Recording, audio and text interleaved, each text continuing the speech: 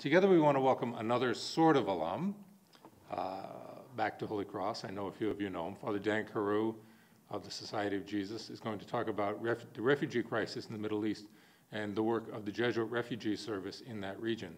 Uh, the older ones among us, a few others, may remember that Dan was a chaplain here at Holy Cross before he joined the Jesuits.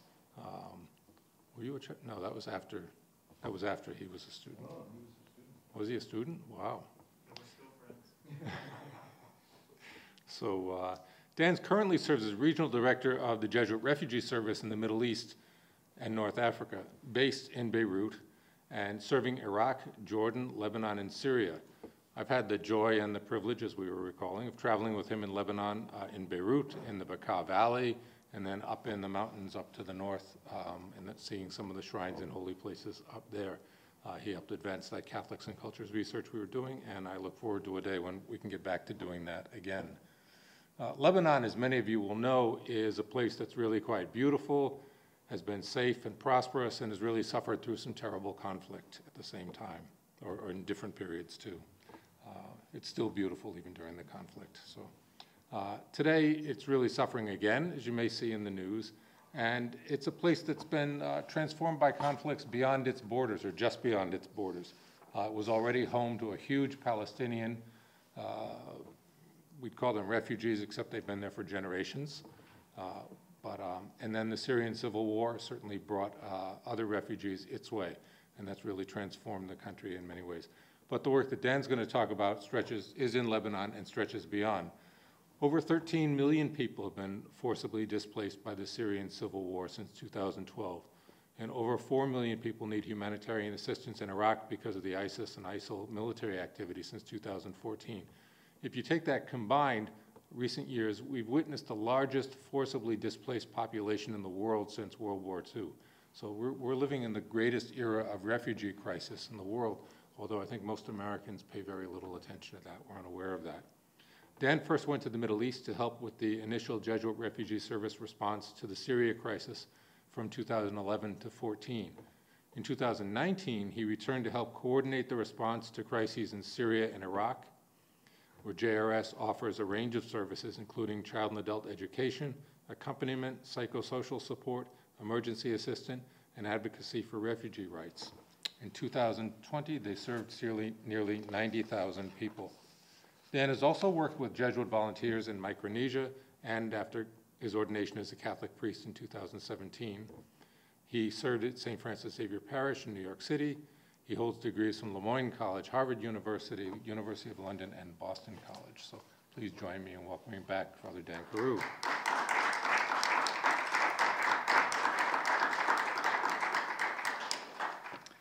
Thank you, Tom. And thank you all for being here. It's great to see many good friends, old friends, uh, and it's a real, a real gift, a real delight to be back uh, at Holy Cross, this place that is uh, very, very important uh, to me uh, in my own formation and development. Uh, and it's a great joy to, to be able to, to speak about the work that we're doing here in the Middle East, the work that we're doing here on Mount St. James. I think the connection uh, has to be integral, that what we do here has to have very real implications and direct contact with the work that we as a Jesuit institution are doing in the Middle East. Uh, and that's part of the, one of the reasons that when Tim suggested that I, I come back to Worcester, uh, I rejoiced at the idea uh, to be able to, in a very real way, say that the work that I'm doing now and that I love so much uh, is integrally connected to the work that got me into this gig in the first place. Uh, so I'm really delighted to be here. Um, and I, uh, we begin here today uh, with, um, we're going to, what we'll do, we'll, we'll talk a little bit about this common Jesuit heritage that we have, how it is that there is this direct connection between the work we do here uh, and the work we do in Syria or Iraq or Jordan or, or Lebanon. Uh, we'll also touch a little bit, uh, Tom went through some of the, the bullet points there, pretty depressing bullet points about the reality of the refugee and displaced person uh, situation in the Middle East, uh, highlighting some of that, talking a little bit about that. Uh, and then from there, moving on to some very specific. I'm going to highlight two very uh, important, I think, issues as we look at the questions around displacement and refugees in the world today and two major issues that we, as we're looking into the future, as we're here in the life of the mind, that we have to start processing. How do we, how do we work through this in terms of a program? How do we work through this in terms of our ethical response? How do we work through this in terms of our policy responses? and so we begin today, uh, we begin, uh, Tom mentioned the, the, the, the, recent chaos of the last two years in Lebanon, uh, this place that I've come to love and adore, uh, where I have been living now uh, off and on for about five years. In the picture we have there, Fatima, our lead psychologist for our mental health programs in Beirut, just the day after the August 4th, 2020 blast, uh, which destroyed uh, a, a, huge chunk of downtown Beirut, including our offices. Uh, the beautiful thing there, and what I really want to emphasize is that sense of hope. The beautiful thing was that people's response wasn't to run away in fear. Uh, our staff, our social workers, psychologists, but just people of goodwill. The next morning, the beautiful thing about that is that in response to this terrible atrocity, uh, people didn't run for the hills. People came from the hills, came from all over the place. They brought whatever brooms or shovels they had. Our psychologists came down and were psychologists on the street. Our social workers became social workers on the street. The students just brought whatever shovel or, or broom they had and started cleaning up the glass off the streets. Uh, and it was a beautiful thing to see the entire country really sort of mobilized. Uh, this common suffering, uh, this became common purpose. Uh, and so as we, as we do this, I think that's an important part uh, we can focus just on the destruction, but there's also this great sense of hope uh, and great sense of, of movement forward. Uh, as a Jesuit, but certainly at a Jesuit institution, I, I, want us to start with a sense of prayer. All of our work has to be grounded in reflection. Otherwise, we just spin off into mindless activity. Um, and we have, uh, in the words of Pope Francis here, Pope Francis came to visit uh, Iraq, uh, and in the photo on the, on the right there, uh, Joe Kassar, the JRS country director of Iraq, uh, got the chance to meet him after the Mass. Um, and I think it's important for us to, to begin with his words of prayer as we continue this, uh, this difficult journey through the time of pandemic. So I invite us just to take a moment to rest in the tender embrace of God and remember that we are loved.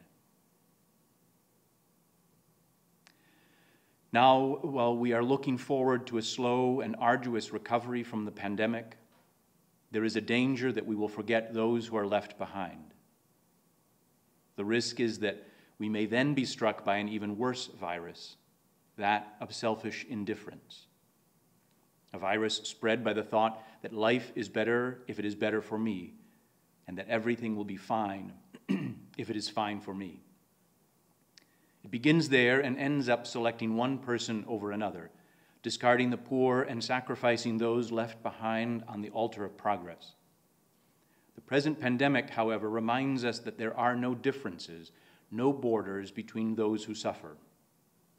We are all frail, all equal, all precious.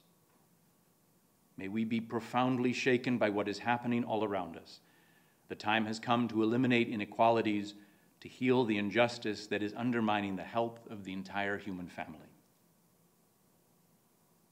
Amen. And so, just as Pope Francis reminds us in those words, but also in his activity, uh, he doesn't go to the big flashy places. He goes, he went to Iraq. Uh, he went right into the very middle of it uh, and spoke about how it is that we can be sisters and brothers to one another. Um, how do we go into those places of difficulty and discord, and how do we speak words of hope in the middle of them? Pedro Arrupe was the founder of the Jesuit Refugee Service back in 1980 in response to the uh, refugee crisis coming out of uh, Southeast Asia, Vietnam. Very reminiscent of the photos that we all saw, the videos that we all saw just a few months ago of the crisis, the catastrophe of the end of the situation in Afghanistan and the, the return of the Taliban. Uh, as we saw that happening, we were reminded of those multiple crises, those multiple traumas uh, that our world struggles with. And what Arrupe invited us to with the founding of Jesuit Refugee Service back in the 1980s and reminds us today is that refugees tell us the state of the world, and we must communicate that message. Uh, and as I was praying with those words, what do the refugees of the world tell us about the state of the world today? I was reminded this photo uh, on the right there is a photo on the, on the wall of our, the JRS office in Homs in Syria, uh, which was the center of Homs. I was there about a month and a half ago, is absolutely destroyed. Uh, the, the city around continues to exist and people continue to live there, but the middle of Homs is complete rubble. Uh, but this photo, which the, the phrase is in English, even there in the office, everything else is in Arabic, but this, this particular uh, phrase was in, was in English. And I think it's a beautiful example of what refugees tell us. On one level, that there are refugees in the world means that there is something profoundly wrong. There are structures of violence and sin, structures of evil that allow for that destruction, that, that allow for that rubble in the back, that allow for that destruction. And we participate in those structures. We have to be mindful of how we participate in those. That is real. We cannot run away from it. Refugees point to the very fact that something is profoundly wrong. As I always say, whenever we get to the anniversary of JRS, we do not celebrate the anniversary of our organization. We mourn that we have to still exist. My job is to make sure that my organization shuts down. That is our job as a collective organization, as Jesuit uh, Ignatian people around the world. How is it that we can be sure that everyone is safe, everyone is home, everyone belongs? And that is the work that we do. So we name that reality. We name the structures of violence that are behind those children. And yet, if all I was doing was focusing on that, the wrongness of the world, I couldn't get out of bed in the morning. What refugees also tell us in that beautiful balance, in that beautiful dance of reality, is that there is great hope. What we see in refugees, what I see day in and day out with the people that I walk with, are people of great hope. They wake up in the morning, they get their kids dressed, they put the books together, they get them backpacks out, they send them out to school. These kids are walking to the JRS school just around the corner from the, where this picture's taken. There's a great hope in that. Parents want their kids to do better. Uh, people want their parents to do uh, to have food and to, to, to, to live good lives at the end of their lives. Uh, there is a great sense of hope among refugees. And I think that we have to hold in balance. Yes, we live, we have to focus on reality. Here in the life of the mind, we study what are the structures of reality. But we can never lose that sense of hope. How it is that we are invited into the creative instability of always moving forward, always moving beyond that. The numbers of reality are stark and painful. 84 million refugees today, more than ever before on the face of the earth. 55 million people internally displaced. Uh, the largest uh, culprits of this we see in Syria. Uh, outside of Syria, there are six and a half million people who remain displaced 10 years after the beginning of the Syria crisis. Another six and a half million are displaced inside of Syria. Syria before the war was 22, 23 million people. More than half of the population has been displaced by this war and continues to be 10 years after it began.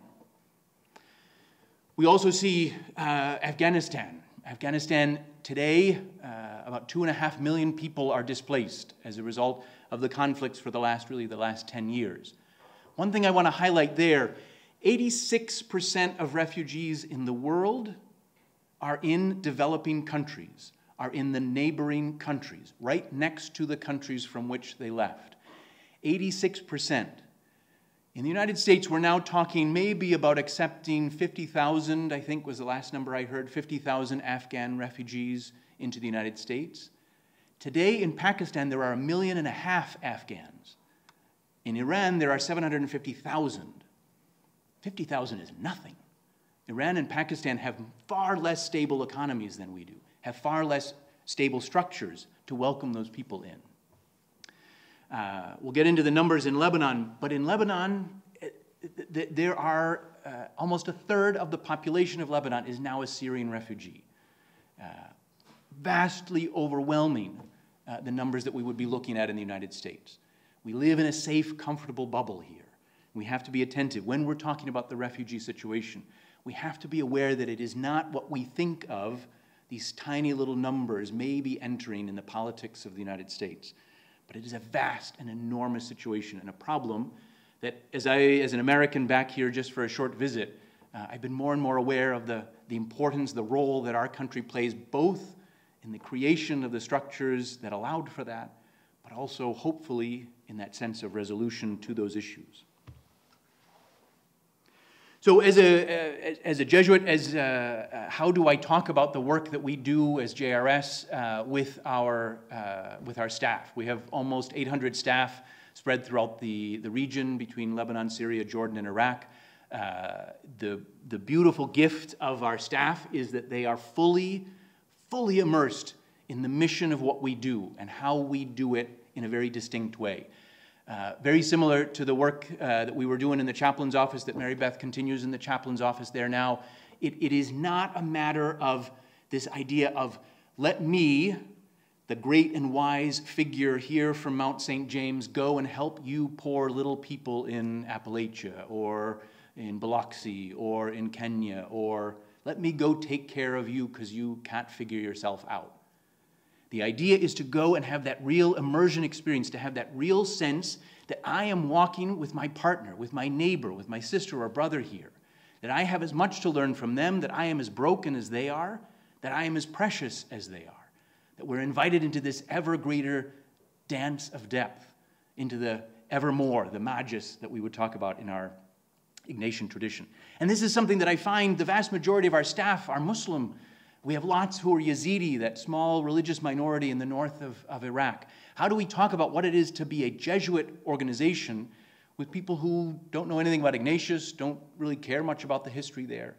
And so, as I'm talking with them, uh, and what I want to share here is just a quick little overview of how we do, what is the balance of our approach to the work, and what I think makes it distinctly Jesuit, and I think draws a, a direct correlation with the work that we're doing here on Mount St. James. First, I, I, use texts from the Quran Karim, I, from the Holy Quran. Uh, and I think I always focus at the very beginning on this beautiful, beautiful line. وَنَحْنُ أَقَرِيبُهُ إِلَيْهُن مِّنْ حَبْلِ الْوَرِيدِ And we, God, are closer to humanity than the jugular vein. It is the closer than close. It is bone of bone, flesh of flesh. It is that there is no separation. God is so profoundly intimate. God, who knows everything, who is all wise, also says, You're worth being close to. Every single one of you, you're worth it. I want to be close to you. There's that beautiful intimacy. And the invitation from that is if you're worth it, so is your neighbor, whoever your neighbor is. They're worth being close to, they're worth being in a relationship with. Go out and engage them. Don't run away. Don't build walls. Go engage with them. Have that same profound depth of relationship as being closer than the jugular vein. So, on one level, there is this invitation with our staff.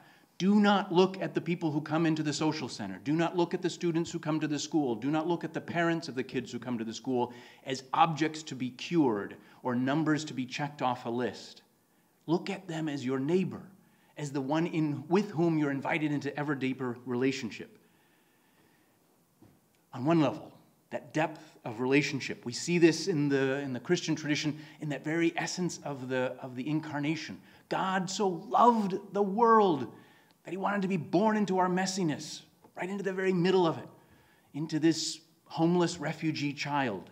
That's where God wanted to be born, not into what is easy and clean and, and removed not into the heights of Mount St. James, but into the depths of our worries and concerns. So, on one level, we have this sense of deep intimacy. And yet, on the other, we have the beautiful phrase in Islamic spirituality, Allahu Akbar. God is greater. Often mistranslated as God is greatest. If it was God is greatest, it would be Allah Kabir. God's the biggest or the greatest. That's not what it says. It says God is greater. It is a relational term. It is an invitation into instability. It is a whatever you can think of, God is greater than that. Whatever the limits of God's mercy, they're bigger than that. Whatever the limits of God's justice, they're greater than that. Whatever the limits of God's love that we put around, God only loves these people. Screw that. God's love is bigger than that. It is always an invitation into the in that instability. In our Jesuit world, we talk about this as the magis, the ever more, the ever deeper, the ever closer the evermore. Uh, that is the invitation always beyond. And so we balance that. How do I increase this depth of relationship but how are we also inviting people beyond what is safe and easy and comfortable?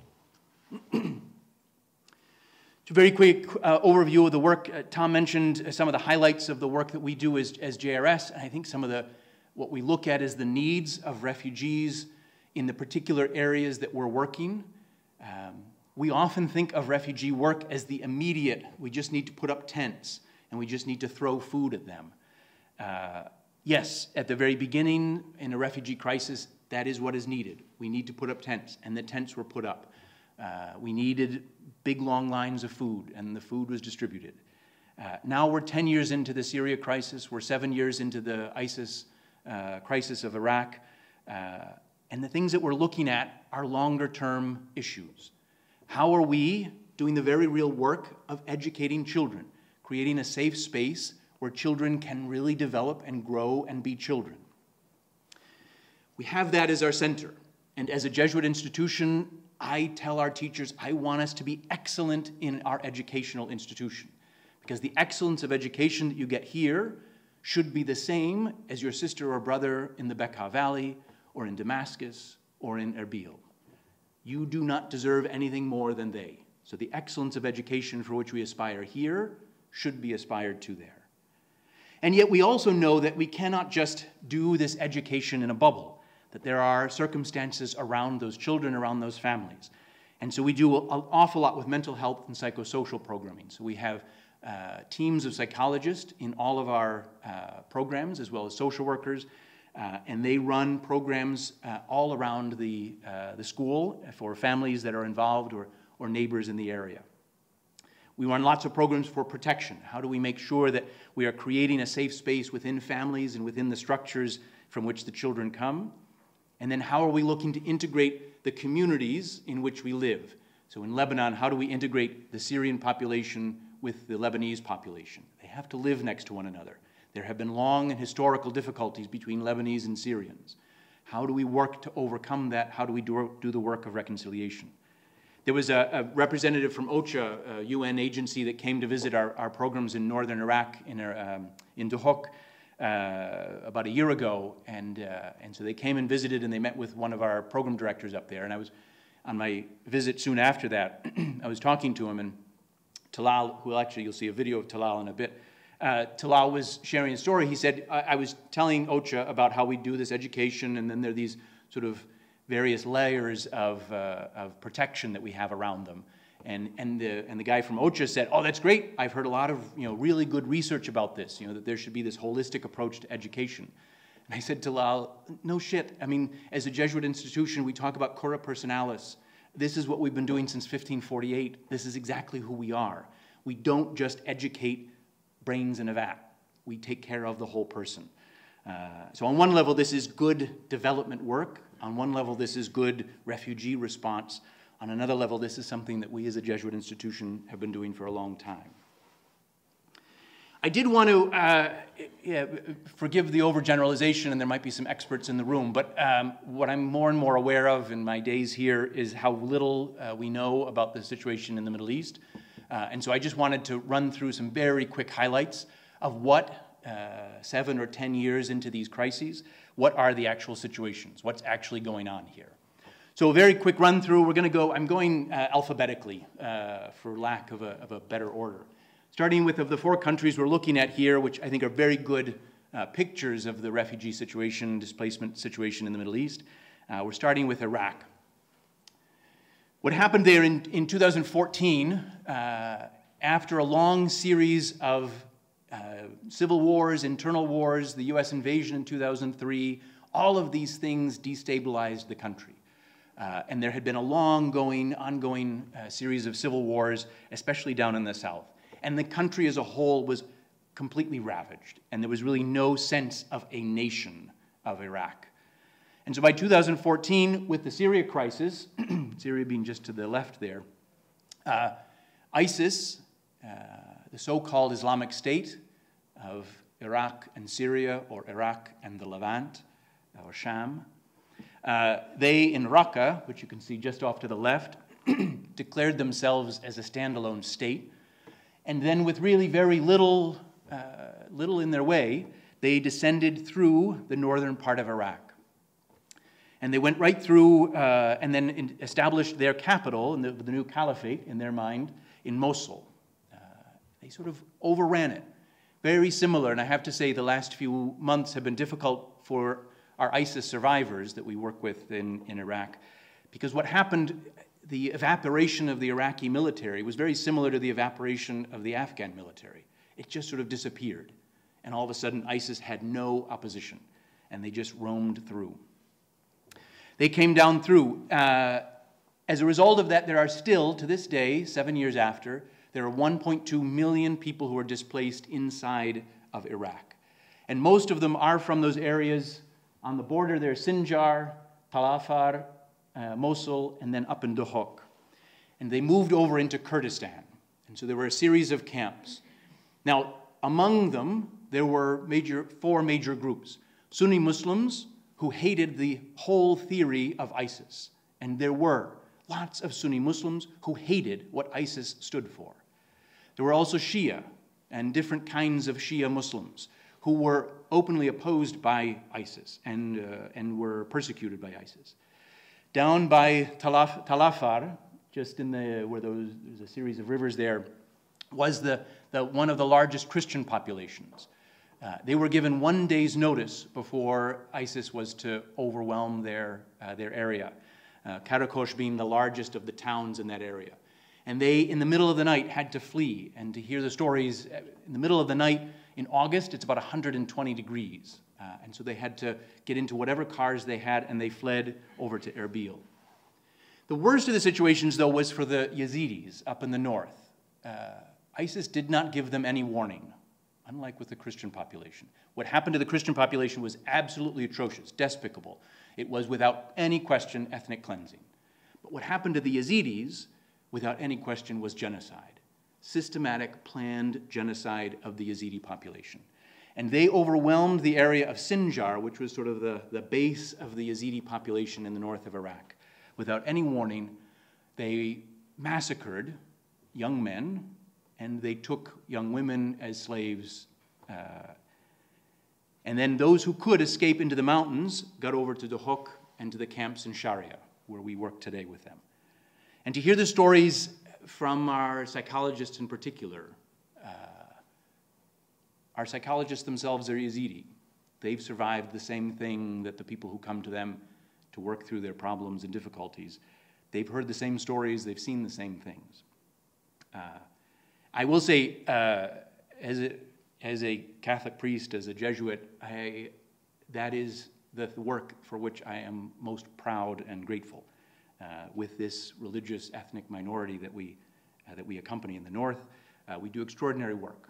And, uh, and I think that is the, probably the most beautiful place that, of all the, and I love the work that we do in all of our places, but that is the, the work that I love in a very deep way. Just given that I'm so aware, and my own studies have been so focused on that international community saying, never again, never again.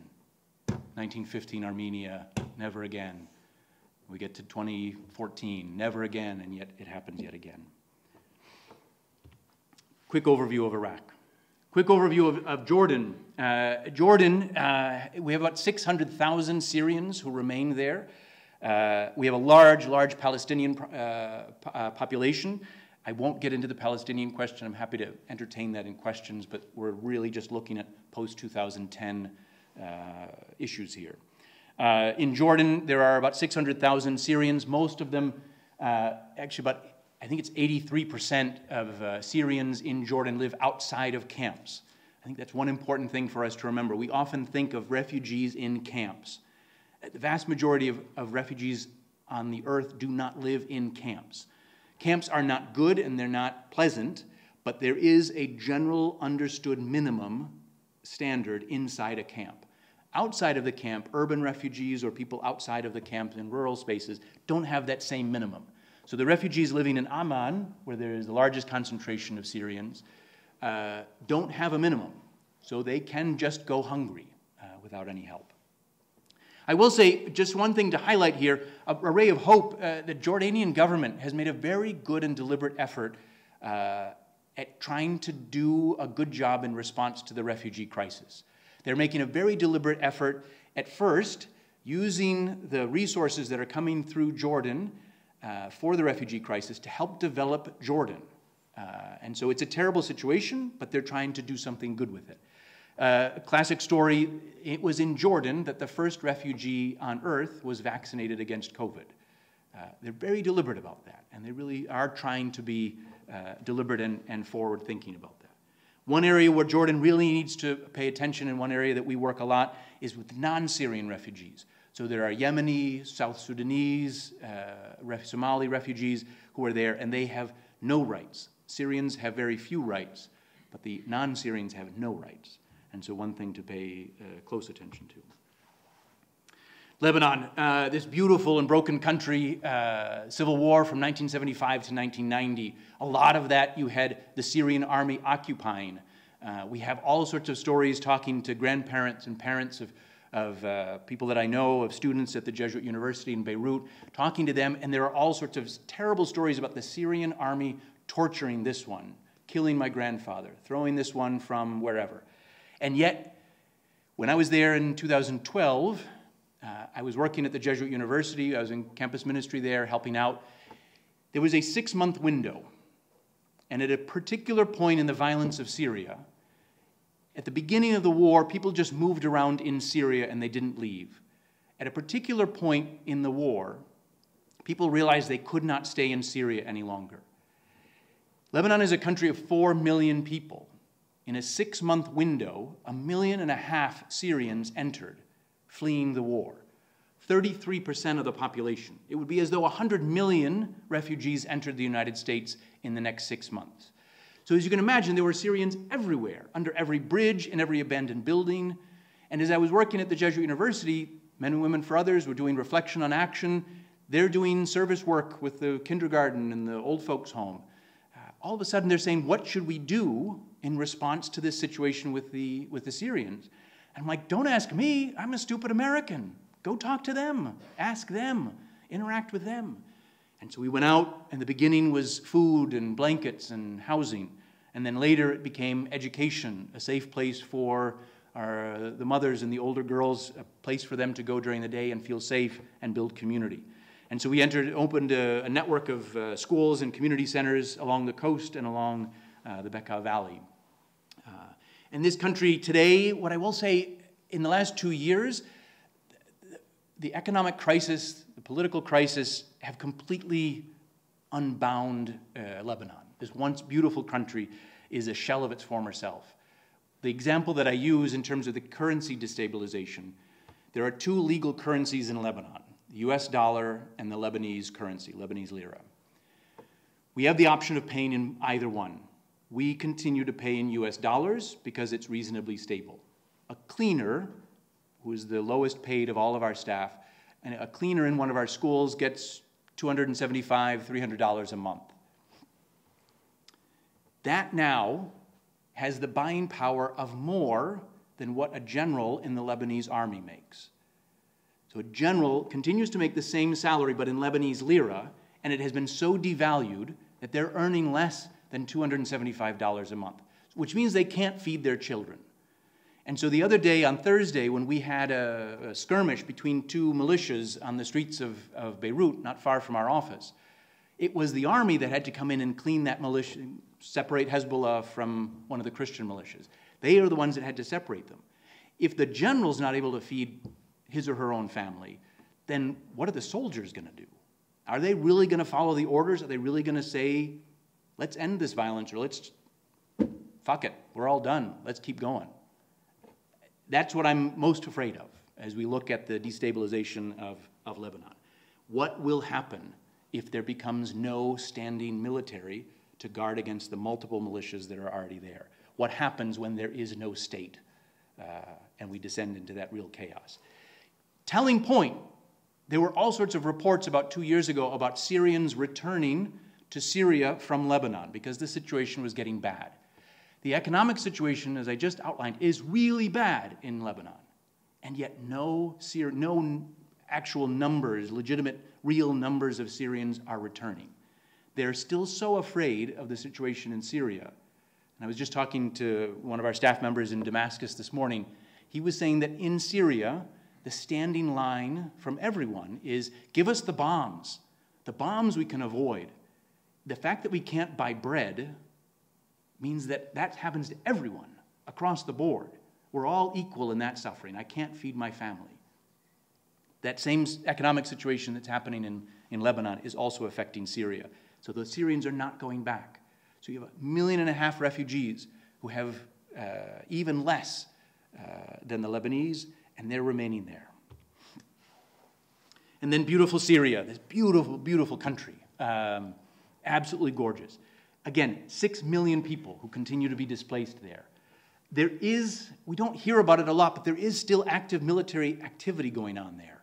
Certainly up in the north, uh, if you see Idlib, um, up in the far north, there continues to be uh, military activity up there. And until just about a month ago or so, down in the south, in Daraa, uh, there was continued military activity down there as well. Interesting thing about that is that what has happened recently is that the state, whenever there is a flare up and the rebels start fighting against the state, the state, with the help of Russia, will go into that town or village and they will say, You have two options. Either we take all of the rebels and we move them somewhere else, or we're just going to destroy the town. And what they do is they've been putting all of the rebels up in Idlib. And so the state can, in its mind, say every one of our enemies is up in this nice, safe, clean place. And in the rest of the country, everyone loves us. We're all fine. And I just think of that spiritual malfunction of all of us, of wanting to think that my enemy is over there. Nice, clean lines, separate, removed. Somehow or another, I don't have to interact with them, and I can just remove them from my reality. Uh, Syrian government is in the middle of doing the, the same thing. Just to, to, highlight some of this stuff with, uh, with the Lebanon situation, uh, a couple of weeks ago I was out in the Bekaa Valley and uh, in one of our programs up in Baalbek, up in the north of, of the Bekaa Valley, I was talking to Nada, who is our, our program director out there, who's just this force nature, this great, uh, amazingly strong, courageous woman. And she runs a program. We have three schools up there, elementary schools and a community center, uh, and a couple of outreach programs. And we got talking about things, and I said, Nada, I'm going to go see these Americans next week. Could you just give me an outline? What are the things that you're working with? What are the, the struggles you have on a, on a particular day? And so she sent me a quick email, and she said, There is no electricity. They used to get one or two hours a day from the state, now they're getting nothing. So, how do you run a school when there's no light in the classroom? How do you run a school when uh, there's absolutely no access to Wi Fi for the teacher? Uh, that there's no fuel. So, in the schools, we used to have a generator, and that used to power at least the light bulb in the classroom. Uh, we can't afford fuel anymore. There's just no fuel around. Uh, the difficulties of security. There was shootings on the streets of Baalbek, and there were kids close by the other day. She was afraid for the life of her children. Uh, we had a child shot in an accident just last year, uh, in an accident between two different groups. Difficulties of security. Increasing costs. We give a little lunch uh, to the students every day, a little sandwich and a piece of fruit and a juice. Um, we're having a hard time paying for the bread just to make sure that that happens.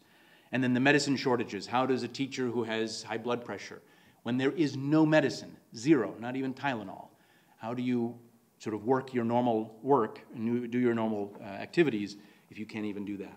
And yet, what I want to highlight there is on the left, on the, the left there, um, the activities do continue. This is actually in our center in Bourj Hammoud, in, uh, just outside of downtown Beirut. And this was part of the summer camp that we had there at that center. Uh, activities do continue. Kids do continue to come to the, the programs, uh, socially distanced, masked, all that uh, good COVID stuff. But activities do continue. People do uh, continue life. Uh, life does continue. What I want to highlight here, and one of the situations, these sort of theoretical situations that I think we have to think through uh, in response to COVID, what we see in COVID is the necessary separation of people. We have to be removed from one another. That same center where that picture was taken uh, is a few years ago, there was this beautiful story. There was a group of Iraqi Christian women who came into Lebanon, and they were fleeing ISIS. And so, in their mind, as Christians, they were fleeing Islam. And they had so associated all Muslims with ISIS. And so they were just afraid of every Muslim. But the neighborhood was almost entirely Syrian Muslim. And so they lived in this little enclave. They never talked to anyone outside, they never interacted with their neighbors. And they came to our center and they talked to one of our social workers and they said, We really need to process this stuff with ISIS. And so they wanted to start a support group. And so they started this support group, but they refused to allow any Syrian Muslim women in there. Slowly over time, that support group, when they would finish their group, they would go out and they would get tea and coffee in the sort of common spaces around. Slowly, slowly, they see, oh, there's these Syrian women, and they're also in a support group. They were running away from ISIS. They had married, the same problems I do in the same neighborhood difficulties with their children, difficulties with their families. And all of a sudden, they started to realize just because they were close to one another, they really weren't that different. And then the beautiful story is that it was just a couple of years before, before COVID when we could gather in large groups. Uh, during Ramadan, when you have the iftar celebration, the end of the fast on a particular day, uh, every year we would have a big iftar uh, in that same space where that picture is taken. You can have 150, 200 people there. It's this great big outdoor space. Uh, and in that particular year, it was these Iraqi Christian women who wanted to do all of the cooking for these 200 people to come to iftar, knowing that they were all Muslim, knowing that they were all Syrian. They had so grown to know their neighbor just by being close to them. And I think this is one of the things that we have to, as we're moving out of this COVID time, how do we do the very real work of like running into one another and just hanging out and lingering with one another and being close to one another? How do we do that? That is part of my push with our staff right now. How are we creating spaces where we can remain COVID safe and uh, our staff has been vaccinated, thanks be to God, but vast majority of the people on the streets have not. Um, how do we still, in a safe way, create those spaces? Just a couple of quick stories uh, from Iraq. Uh, in the Yazidi, in the very far north, these are some pictures there. Uh, when we had to close the schools because of the government uh, shutdown of, of schools, we decided to do School Goes to You. And so the teachers would pick regions of the tented communities and they would go and go, uh, go student tent to student tent uh, and do classes in the, in the spaces there. And you see one of the teachers handing off a, a maths textbook to one of the, the children. And then also, there was a, on the right there is a, a group, um, this is a group that been, these are ISIS survivors. These are women that had been in slavery, sex slavery, for up to two years. Uh, and this was a support group, and as part of that, they wanted to do something. They didn't just want to, they needed to do something active. And so they, we had this uh, sewing material, and so they started sewing masks. Uh, and so all around you saw these little kids with polka dot masks uh, walking around in, in Sharia uh, Collective. On the right, uh, those are a group of, of kids that are uh, one of our kindergartens in Sharia, Yazidi kids. Um, just a quick note on that. If you look, uh, like the little JRS logo down there at the bottom, our, our normal, when we're doing swag, it's normally in that dark blue. And so normally when we distribute backpacks or t-shirts or whatever it is, it's usually in that dark blue. Uh, in the 19th century, uh, the Ottoman Empire, or one group of the Ottoman Empire, tried another genocide on the Yazidi back in the 19th century, and it was that dark blue colored flag. Uh, and so whenever we do anything with the Yazidi, we do not use that blue, we use bright orange. And so the backpacks for these uh, Yazidi kids are in a bright orange. Um, now, the question here, and this is the theoretical question that I, I think needs the life of the mind and a little bit of, of separation. If you see on the left there, that's, that's Sinjar. That's the town from which they fled. Um, and if you see um, along the road there, you'll see these cement blocks or rocks there, and they're painted red on one side and white on the other. The white side has been cleared of landmines uh, and unexploded ordnance. Uh, I took that picture about a month ago. The red, uh, the, they have not cleared that of landmines or ordnance.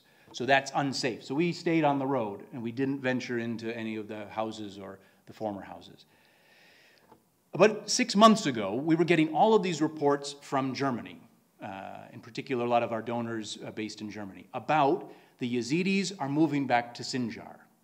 And then all of a sudden, we started to see some, several major international NGOs who do great work made the decision to start closing their operations in Sharia, where we have that kindergarten and others, and started moving their operations to Sinjar.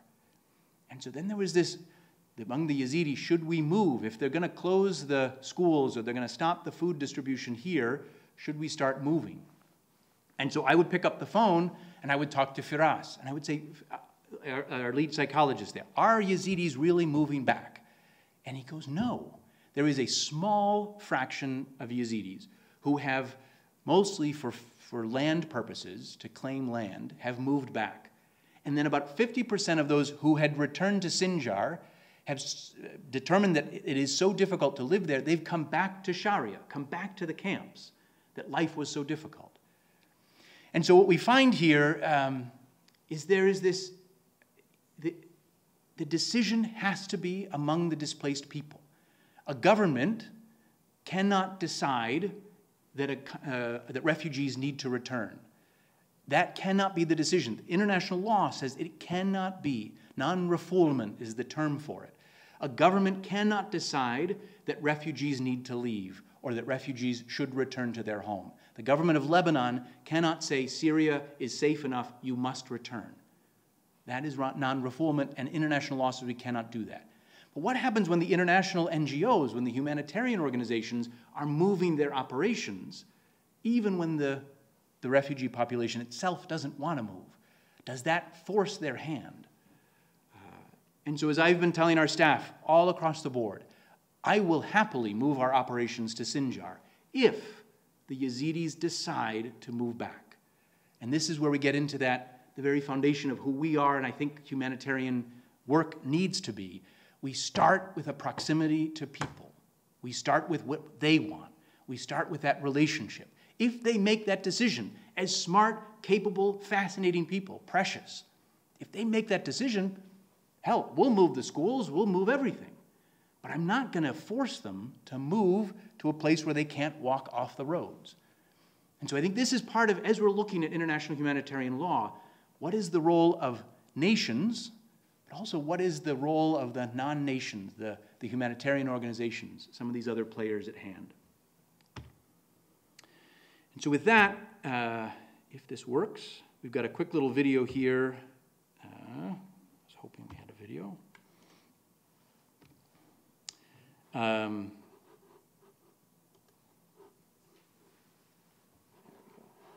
and this is a video of uh, one of our uh, program directors, a, Yazidi himself,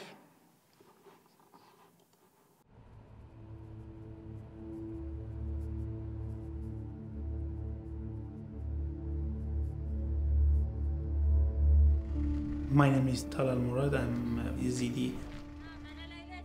Yazidis is a peaceful religious ethnic minority with a history of 6,000 years.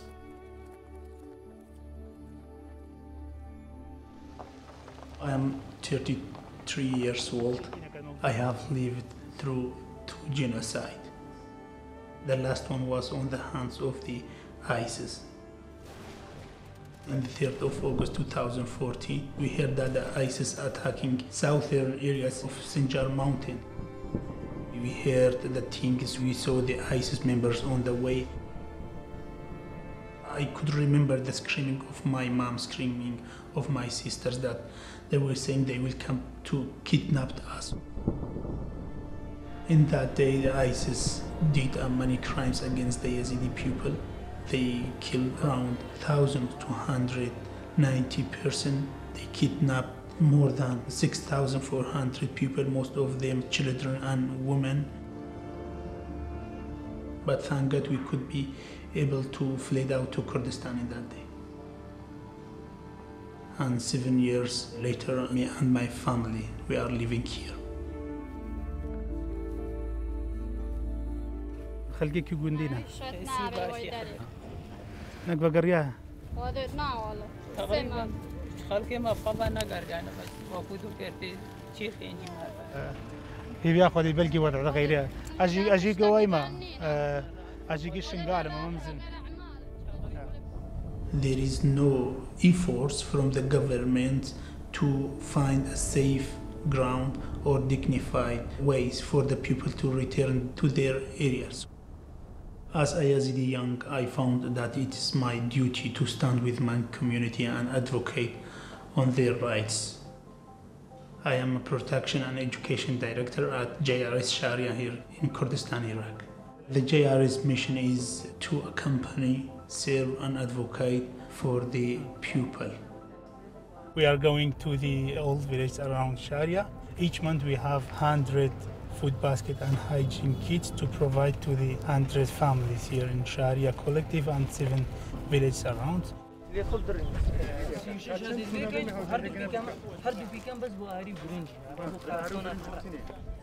It's very important to be close to those families, to accompany them, to give them hope that there is some organization, some people are caring about them and trying to providing their needs. The people that JR is currently servicing more than 20,000 people. The purpose of the project that we have here in Sharia to provide the education services, protection and mental health, psychosocial support for the pupil and also looking for the justice for their rights. حقنول برهبة كيدرة كاريبات فكيل مال ده خادم معلم درداني والشيخ دراكر شيخ خدرة آه We providing cash assistance in terms of mental health. We are providing the medication. We providing them with the legal services. We are providing the transportation for the student in education. We have a kindergarten to receiving 220 children per year. We have a youth education program for the student of the grade 9 and grade 12. And also we have the adult education courses which is English and literacy and computer. Beside that we have skills training courses in terms of sewing, barbering, confectionery and hairdressing courses. Through the JRS advocacy work, we selected the issues of Yazidi missing persons to have interventions and raise this issue to the international community. Also bring attention to the situation of Christian Yazidis. And for the Yazidis, I hope that this year will be the last year of the displacement and hopefully those people will return to their home in a safe and dignified way. They deserve peaceful, they deserve a good life, they deserve a life like others. I tried and I am still trying to be a voice of my community. I think it's very important missions that JRS has here in Iraq and around the world to give the people hope to make them stand for their own future.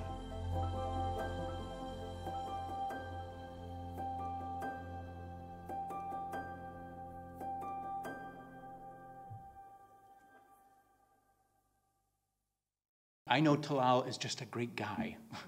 He's a big teddy bear uh, and likes to, yeah, likes to have a, a, likes to sing and dance and, and do wonderful things. He's a wonderful, wonderful guy. Uh, and so I, you know, I, I, think the, the question always comes up, uh, certainly with uh, university folks, uh, what do we do, where do we go? Uh, and I just, be partners with Talal, start local, start here. You're in Worcester, there's a beautiful, beautiful migrant refugee community here. Get to know them, go in depth, know your neighbor. Do your studies, live the life of the mind, go deep here, but get to know your neighbors as well and make sure that the stuff you learn here has real, real meaning on the streets uh, with the recent refugee and immigrant population here in Worcester, this beautiful town. Uh, get to know them, go in depth there, start with that. Uh, do the very real work of building those relationships, of learning stories, of being awkward enough to hang out with your neighbor as I tell my staff, if it's not awkward, you're not doing it right. Like keep staying there, hang out there, linger. Uh, so keep doing that. Uh, and then the other thing that I, I, really, again, just having been here for a couple of weeks, we, those of us with the golden passport, U.S. citizenship, uh, you have the right to, to raise your voice to the government and say, when we're really screwing it up, we got to change something. We got to look at it in a different way. Uh, we, as members of an academic community, have a voice that hits way above its weight. Uh, how do we do that in the work that we do, the research that we do, the, the, the activities that we run here, the, the, the, talks and the sessions that we're running here, the workshops that we offer? How are we doing the very real work of learning the issues of the world that we don't understand?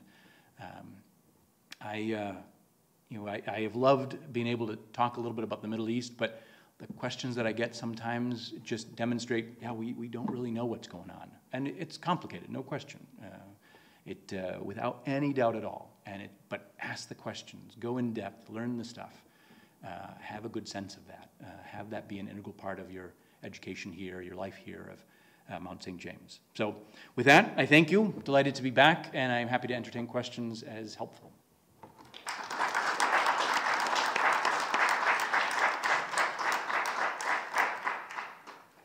Excellent, excellent questions. Uh, it's true in Lebanon, but it's true across the, the, the, all of the countries. We very deliberately we hire the best candidates who are interested in the mission that we that we live out. Uh, for instance, uh, Heba El Basha is our country director in um, in, in Lebanon, a Druze woman, uh, Lebanese Druze. Uh, her family politically was very suspicious of having Syrians come into Lebanon. Uh, we have staff who are Christian, who are from the Shuf, uh, who, after a couple beers, they're like, I never met a Druze before, and now she's my boss. And you know what? She's, she's a good boss. And, uh, and she really loves the refugees, and she loves the work we're doing, and, and she understands what we're doing. And I thought, because I was Maronite, I was the only one who could understand a, a Christian organization. But this Druze Lebanese woman gets it. And so, as I say, 95% of our staff are Muslim in the region. Uh, in places like uh, Sharia, uh, 100% of our staff, yeah, 100% of our, oh no, we have two Shia Muslims in all of the, of the program that we have in Sharia. Uh, everyone else, 100 people, are, are Yazidi themselves. Uh, I think it's integral that we're hiring from the local communities. So it's a Yazidi social, it's a Yazidi uh, psychologist or social worker who's doing the work of repairing community, repairing uh, people's lives, and helping them work through their their issues. Uh, so that's essential. Um, so that is that's the hiring question, uh, and that's an area I will say that I think is a prophetic place for us. If you look at other, uh, in particular Christian, well, faith-based across the board um, most of them, the reasonable ones, will be open to anyone who walks in the door. There are the crazies in, in every one of the sects who only help their people. And that's just complete crap and a complete uh, obfuscation of, of reality, of the truth. Uh, but most of them, other faith based organizations, will, anyone who walks in, vulnerable. I'm very deliberate, and, and we, I, as far as I know, among the Christian organizations, are the only ones who are very deliberate about hiring whoever walks in the door and who is committed to the mission, able to buy in, able to do the job. Uh, and, uh, and so that's something that I, I hold as, a, as an area of pride. And I think it's, it's a prophetic witness. It really is, you know, that, that what we talk about, you know, that stuff that I talked about, the sort of the Quranic uh, or Islamic you know, phrases at the beginning, those, um, those are not something that are limited just to Islam. They're not something, you know, the, the foundation of what I see our work being is something that people of goodwill can, uh, can join and really, you know, I, I have, I have grown profoundly uh, as, a, as a Catholic priest by my interaction with Yazidis, by my interaction with, uh, with Sunni and Shia uh, Muslims. And so that, um, I, I really do see that as an integral part of it. And I think this is, as we talk about the real work of advocacy, the real work of reconciliation, uh, we've got to live it out. I mean, we've got to be an example of that. And I think, uh, well, the, the, the, story that, I, that I'll often use is, um, and, and how are we seen as a, as a religious organization? Um, and, and in doing that, uh, when we look at, so this is outside of the faith-based NGOs, you know, you're looking at Save the Children and UN agencies and things like that there's sometimes a hesitancy around the religious thing, similar to relations between Holy Cross and Williams or whatever. And they're like, oh, you know, these crazy, you know, Catholic people or crazy Muslim people or crazy whoever. Uh, what I what I'll put push back on them, and I'll say, uh, y'all arrived here 10 years ago in response in Lebanon in particular. Y'all arrived here 10 years ago in response to the Syria crisis we're a Jesuit work. The first Jesuits arrived in what is now Syria and Lebanon in 1656. When I'm thinking about our work, it is as a Jesuit work. Now, hopefully, JRS, as I say, can close in a particular window of time. But I'm thinking about the next 350 years as a Jesuit and as a Jesuit institution. How are we feeding into the Jesuit schools that are there and have been there for a long time? How are we feeding into the Jesuit University, the Jesuit Hospital? How are we feeding into those things that have been part of that uh, environment for a long time? So, how do we think of our work in a 350 year window uh, rather than just in the, in the 10 year window of the. And so, not to say that we're any better by any means, but I think there's a, there is the value of that, uh, that depth and that, and that longevity. We have a relationship here. And for those 350 years, we've been working with integral human development, you know, across the board. And good days and bad days, and we can point to negative examples, certainly. um, as much internal Christian, like the Jesuits and the Maronites have had a, a rocky relationship, and they're all Catholic. so we can point to the bad examples, but we can also point to the great examples uh, over that 350 year window of we're, we're making this work. Our brokenness, your brokenness, our giftedness, your giftedness, and we're, we're figuring it all out. So I see that as a, as a real benefit. A great question. Thank you. Something I found really powerful was you and the JRS's um, um, motivation to be for people the Yazidi and like work in proximity of like not wanting to move unless they wanted to move or unless you felt or they felt it was safe.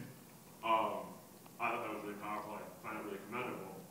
Um, I, this is kind of a broad question. I don't know if it's outside of your scope, but for what would what would the flip side of the argument be for an NGO humanitarian organization to Yeah. go ahead and move Yep. without the consent of the refugees that they're working for? Right. Great question. It, it, it is, and I get it. And so I, I want to you know, I want to give credit where credit's due. It is always better for people to be home. When they're displaced, uh, it's not good for them. Uh, there's an uncertainty about that for them and the host community. Now, it happens that Sharia, where they're displaced at the moment, had a history of being predominantly Yazidi, so there's not a huge ethnic or religious tension, but Sharia does not have a lot of resources. And so the limited resources that had worked for the X number of people that had been there before now have to be stretched that much further. The jobs that were there have to be you know, spread among far, far more people. And so it's, it's always better for people to be home.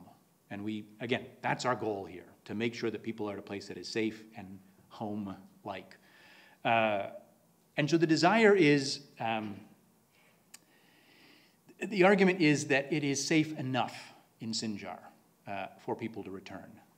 Um, I, I, don't I don't think they made that decision after having vet- visited Sinjar. You know, like I'm not like they're writing these. What I what I always found frightening or funny about it was that they were writing these reports from uh, from Aachen or from Berlin or, or or Paris. Like it's fine to say in theory refugees need to return home. But these were the same organizations that were writing about Syrians returning to Syria, and it was a couple of thousand in light of a million and a half. So you, we can point to some data that shows some movement Syrians from Lebanon into Syria, Yazidis from Sharia to, to Sinjar. We can point to some data. And if you're taking that, those numbers, that data, and you're looking at it, and you want to put a rosy spin on it. Now, there's the, the positive, we want people to be home.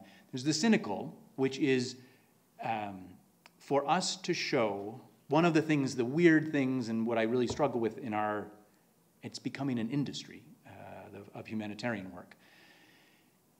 It, it helps to show success, and our donors want to see movement and progress and something new.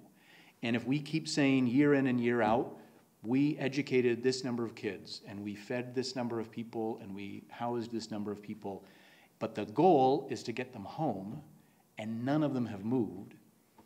In the donor mind, in a sort of a free market capitalist mentality that we're thinking that has started to define a lot of humanitarian work, there's no success there. There's no easy, demonstrated sort of movement towards success, you know, like the zero refugee point. Uh, and so the cynical part of response that I would have is that we're looking to push the data in a particular direction to show that what we're doing succeeds, therefore you should continue to fund us. Um, we, we have a major grant that you saw in the video. Um, I, I'm really frightened by it, but even in Iraq, our stickers, uh, we have a big US flag on them. We don't do that in government of Iraq held territory, but in Kurdistan, the US government's fine. But that is funded by PRM, a USAID program. Uh, we get $4 million a year from them. And, and they, um, what we do when we reapply for PRM every couple of years is we have to show real progress and that we're now responding to new needs or changing development needs. And on one level, the situation in, in Sharia has remained the same for seven years. People are displaced, kids need to go to school, ISIS survivors need some sort of help to work through the issues of having been a slave for two years. Um, that, that kind of trauma doesn't go away in two years of therapy, as intensive as it is. It might be diminished, it might be changed, but there's not real progress there. And so this, there is a desire cynically to, to show real progress. And that would be real progress if we could get them to go back. So, yeah, a couple of quick answers there. Thank you. Thank you. My, my pleasure. I'm happy to stick around if you have a question, we can chat, or, yeah, we can chat individually. Great, thank you all very much.